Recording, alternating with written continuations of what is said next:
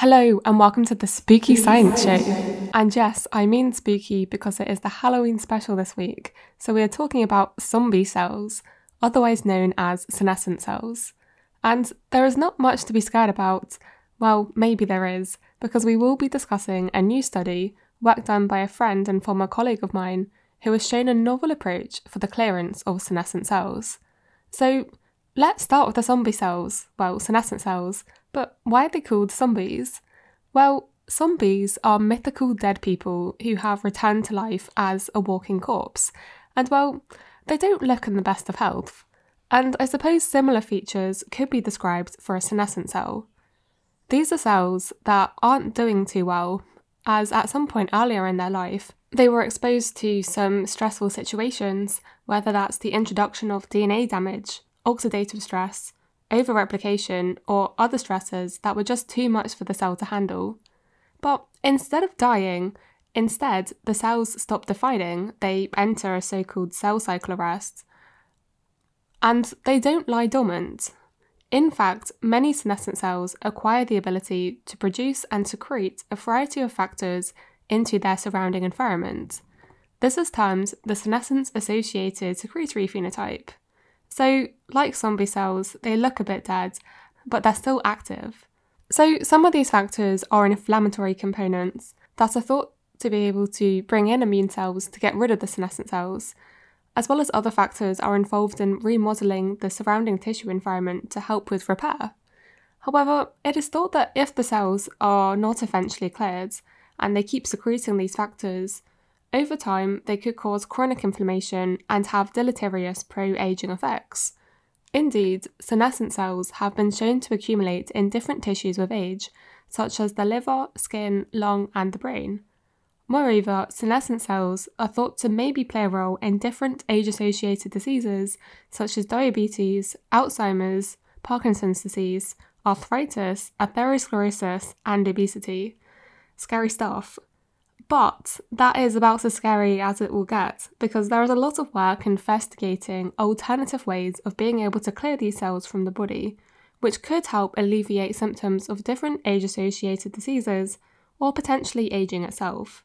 If you're interested in this area of research, then one term you have very likely come across is senolytics. This refers to a group of drugs that selectively kill senescent cells. For example, the drug combination of dasatinib and quercetin are thought to have this potential and improved physical function and increased lifespan in old mice.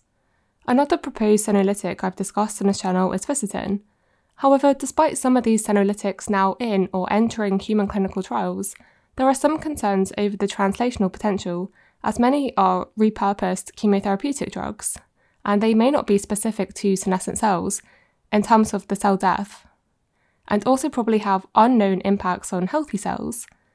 What would be most ideal is to find mechanisms that are more specific.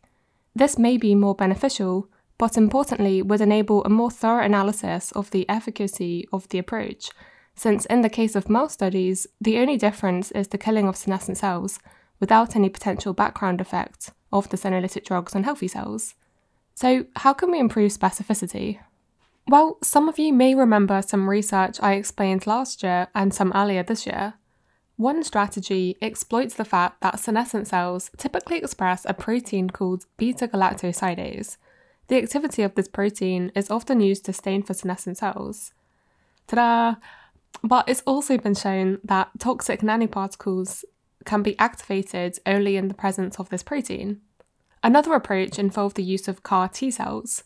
I'm not going to fully explain how that concept works here, but effectively they exploited the presence of a protein expressed on the surface of the senescent cells to activate immune cells to clear just the cells with this protein being expressed. This latter strategy, though, is quite expensive, and there's still a lot of interest in finding more strategies to see what might be most effective and for what diseases. And the reason for that is because senescent cells are very heterogeneous. They are found in different locations and become senescent by different ways. So, one strategy might be effective for one population of senescent cells and not another. Anyway, all this brings me onto the recent publication Targeted Clearance of Senescent Cells Using an Antibody Drug Conjugate against a specific membrane marker. I'll start with the last two words first membrane marker. So, again, as I just explained with these CAR T cells, in this paper they exploit the surface of senescent cells, so proteins present in this membrane, that aren't found as frequently in healthy cells. Here they decided to use the protein B2M as a membrane marker. I asked Marta, the lead author, why they chose this target, and while B2M was already characterized by the lab, and the expression of B2M in their model was much higher in the senescent cells than growing non senescent cells. And also, because it's on the surface, they could target these senescent cells with an antibody that specifically recognizes this protein. We'll discuss later on why maybe B2M isn't a very good marker, but for now, let's look at the novel approach to kill senescent cells. So, the title of the paper refers to antibody drug conjugates. Simply, an antibody that also has a cytotoxic drug attached. The drug is toxic to cells that it enters. The premise behind this approach is that the drug is inactive until it enters the cell. And to enter the cell, it first needs to bind to the surface of the cell. And so, this antibody drug conjugate approach has already been applied to cancer treatment, with many undergoing clinical trials, but this is the first time it's been tested against senescent cells. So, does it work? Well, they tested the B2M antibody drug conjugate against different types of senescent cells that became senescent after overexpressing high amounts of the proteins P53, P21, or P16, which are all important proteins in senescence. They then examined cell viability to see what happened when the cells were treated with the B2M antibody drug conjugate or a control antibody drug conjugate. And a control antibody drug conjugate that shouldn't recognise the senescent cells or the healthy cells. So the results are best summarised in these two graphs here. The one on the left shows it for the P53 induced senescent cells, and the one on the right shows it for the P16 induced senescent cells. Control here means the cells were growing, while senescent means, well, the cells were senescent. Then the first bar shows the control antibody drug conjugate, and then the second bar is showing it for the B2M antibody drug conjugate. Cool. So what we can see is that the P53 induced senescent cells showed a reduced viability when treated with this B2M antibody drug conjugate, whilst the P16 senescent cells did not. They also further validated this B2M antibody drug conjugate in another cell line that were seen in senescent cells that also depend on P53 activity. But ultimately, what this data supports is that antibody based targeted senolytics have significant cytotoxic effects.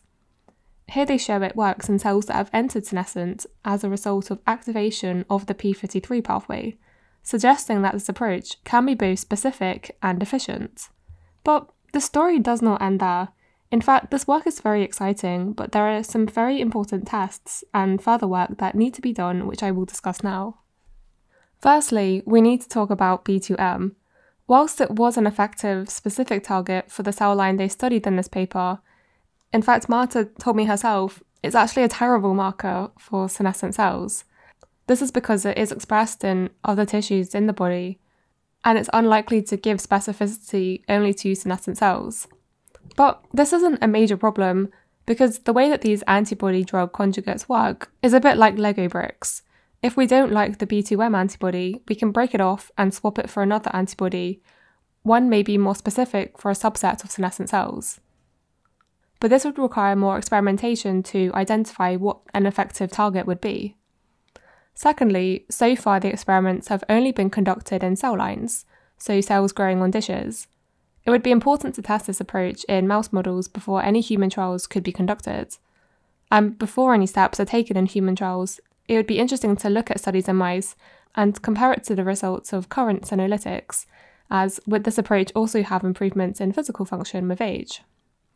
So, whilst there are limitations with this study, as a proof of principle, this is definitely a promising approach with therapeutic potential if other senescent membrane markers are used, especially since antibody drug conjugates have good translational potential for human therapies. So, with that, I hope you enjoyed this spooky special. Thank you to my Patreon supporters, and thank you for listening.